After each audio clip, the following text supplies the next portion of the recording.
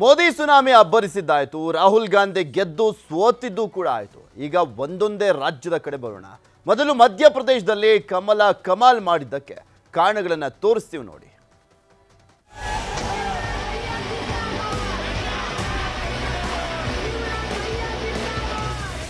ಮಧ್ಯಪ್ರದೇಶದಲ್ಲಿ ಎರಡ್ ಸಾವಿರದ ಹದಿನೆಂಟರಲ್ಲಿ ಕಾಂಗ್ರೆಸ್ ಕಮಾಲ್ ಮಾಡಿ ಅಧಿಕಾರಕ್ಕೆ ಬಂದಿತ್ತು. ಆದರೆ ಬಂಡಾಯವೆದ್ದ ಜ್ಯೋತಿರಾದಿತ್ಯ ಸಿಂಧಿಯ ಬಣ.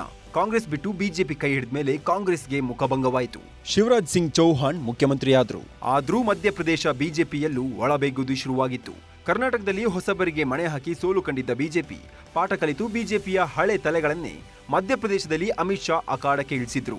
ಬಂಡಾಯ ಎದ್ದವರನ್ನ ತಾವೇ ಕರೆದು ಮನವೊಲಿಕೆ ಮಾಡಿ ಬಿಜೆಪಿ ಹಾದಿಯನ್ನ ಸುಗಮಗೊಳಿಸಿದ್ರು. ಹೀಗಾಗಿ ಮತ್ತೆ ಮಧ್ಯಪ್ರದೇಶದಲ್ಲಿ ಕಮಲ ಹರಡಿದೆ. ಇದಿಷ್ಟೇ ಅಲ್ಲ. ಮಧ್ಯಪ್ರದೇಶದಲ್ಲಿ ಬಿಜೆಪಿಗೆ ಸೋಲಿನ ಭಯವಿತ್ತು. ಇದನ್ನು ಸ್ಪಷ್ಟವಾಗಿ ಅರಿತ ಹೈಕಮಾಂಡ್ ನಾಯಕರು ಕೇಂದ್ರ ಸಚಿವರನ್ನ ಎಲೆಕ್ಷನ್ ಅಖಾಡಕ್ಕೆ ಇಳಿಸಿದ್ರು. ಕಾರ್ಯಕರ್ತರನ್ನ ಶಾ ನಡ್ಡಾ ಖುದ್ದು ಬಂದು ಸಭೆ ನಡೆಸಿ ಹುರಿದುಂಬಿಸಿದ್ರು. ಮಧ್ಯಪ್ರದೇಶದ ಮನೆಮಗ ಮೋದಿ, ನಾನೇ ಗ್ಯಾರಂಟಿ ಅಂತ ಪ್ರಧಾನಿ ಪ್ರಚಾರ ಮಾಡಿದ್ರು. ಕೇಂದ್ರ ಸಚಿವ ತೋಮರ್ಗೆ ಹೆಚ್ಚಿನ ಹೊಣೆಗಾರಿಕೆ ವಹಿಸಿಕೊಡಲಾಯಿತು. ಮೂಲವಲಸಿಗ ಅಂದರೆ ಚೌಹಾಣ್ ಸಿಂಧಿಯಾ ಬಣದ ಕಚ್ಚಾಟವನ್ನ ವರಿಷ್ಠರೇ ಅಂತ್ಯಗೊಳಿಸಿದ್ರು.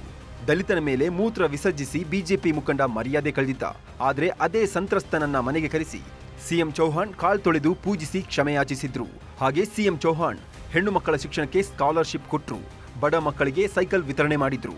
ಮಹಿಳೆಯರಿಗೆ ಲಾಡ್ಲಿ ಲಕ್ಷ್ಮಿ ಹೆಸರಲ್ಲಿ ಸಾವಿರದ ಇನ್ನೂರ ಐವತ್ತು ರು ನೆರವು ಘೋಷಿಸಿದ್ರು. ಮಹಿಳೆಯರ ಪಾಲಿಗೆ ಪ್ರೀತಿಯ ಮಾಮ ಆದ್ರು ಚೌಹಾಣ್.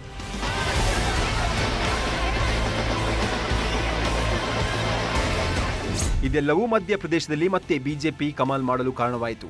ಕಾಂಗ್ರೆಸ್ನ ಗ್ಯಾರಂಟಿ ಘೋಷಣೆಗಳಿಗೆ ಜನ ಹೆಚ್ಚು ಮನ್ನಣೆಯನ್ನು ಕೊಡಲಿಲ್ಲ. ಈಗ ಮಧ್ಯಪ್ರದೇಶದಲ್ಲಿ ಮತ್ತೆ ಬಿಜೆಪಿ ಗೆದ್ದಿದೆ. ಈಗ ಸಿಎಂ ರೇಸ್ನಲ್ಲಿ ಮೂವರಿದ್ದಾರೆ. ಯಾರಾಗ್ತಾರೆ ಮಧ್ಯಪ್ರದೇಶ ಸಿಎಂ? ಸಿಎಂ ಆಕಾಂಕ್ಷಿ ಒಂದು, ಶಿವರಾಜ್ ಸಿಂಗ್ ಚೌಹಾಣ್. ಸಿಎಂ ಆಕಾಂಕ್ಷಿ ಎರಡು, ಜ್ಯೋತಿರಾದಿತ್ಯ ಸಿಂಧಿಯಾ. ಸಿಎಂ ಆಕಾಂಕ್ಷಿ ಮೂರು, ನರೇಂದ್ರ ತೋಮಾರ್. ಲೋಕಸಭೆನೂ ಗೆಲ್ಲಬೇಕು ಭಿನ್ನ ಮತವು ಶಮನ ಆಗಬೇಕು. ಹೀಗಾಗಿ ಯಾರನ್ನ ಸಿಎಂ ಆಗಿ ಆಯ್ಕೆ ಮಾಡ್ತಾರೆ ಅನ್ನೋದು ಸದ್ಯದ ಕುತೂಹಲ. Bureau report news eighteen